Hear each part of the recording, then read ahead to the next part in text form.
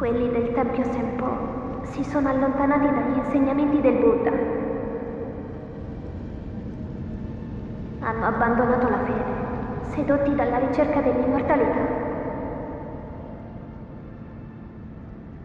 Se ti cattureranno, nessuno può dire che cosa ne sarà di te. Faresti meglio a tornare per la tua strada. Vedo che hai deciso di proseguire. Pregheremo per te. È il che possiamo fare.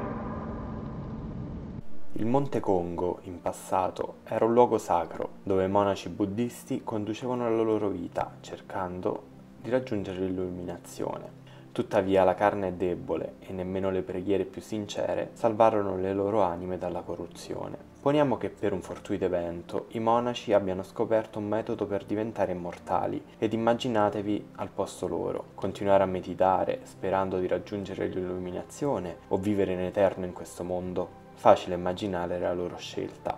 Affrontando i vari monaci possiamo notare come essi siano infestati da mille piedi e cercheremo di capire cosa rappresentano.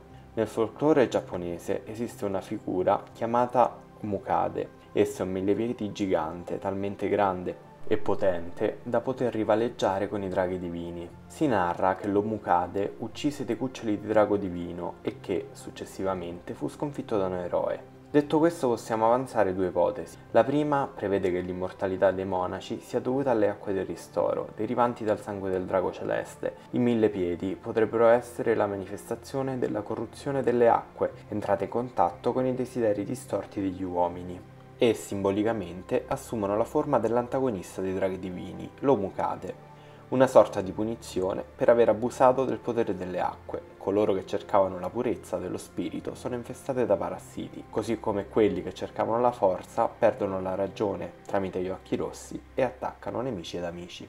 La seconda ipotesi prevede che l'Omukade potrebbe aver assorbito il potere del retaggio del drago dai cuccioli del drago divino uccisi nella leggenda. Quindi potremmo presupporre che i mille piedi possano essere utilizzati come vettore per l'immortalità, senza dover passare dalle acque del ristoro. Qualunque sia la verità dietro i mille piedi, possiamo chiederci se è davvero questa l'immortalità che i monaci stavano cercando. Tramite il testo divino posseduti e successivamente quello del ritorno, scopriamo che in realtà l'immortalità data dai mille piedi non conduce alla vera illuminazione.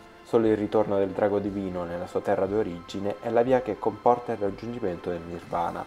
Gli esperimenti per la creazione dei bambini delle acque probabilmente sono iniziati dopo aver scoperto la verità sulle origini del drago divino. Creare un retaggio del drago artificiale da utilizzare come sacello, per quello vero, era l'unica via per raggiungere la vera illuminazione. Le acque del ristoro, unite alla vita eterna dei maestri monaci, erano l'ideale per iniziare a sperimentare e così il tempio del Buddha si trasforma in un tempio degli orrori. Vennero rapiti innumerevoli bambini finché una di loro non sopravvisse al trattamento.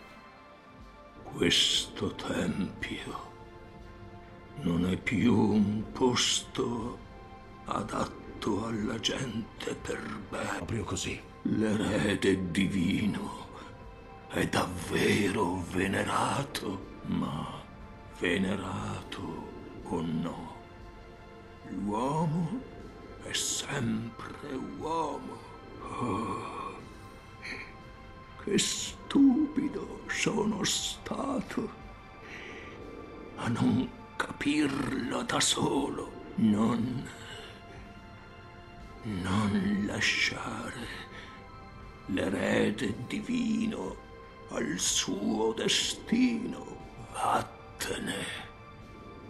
È troppo tardi per pentirsi se hai già perso tutto.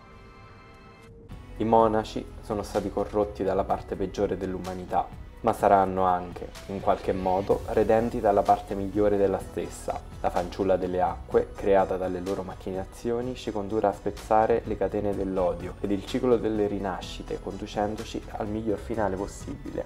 Chissà, forse un giorno il Tempio Senpo tornerà ad essere un luogo sacro, ma fino ad allora, se il video ti è piaciuto lascia un like e iscriviti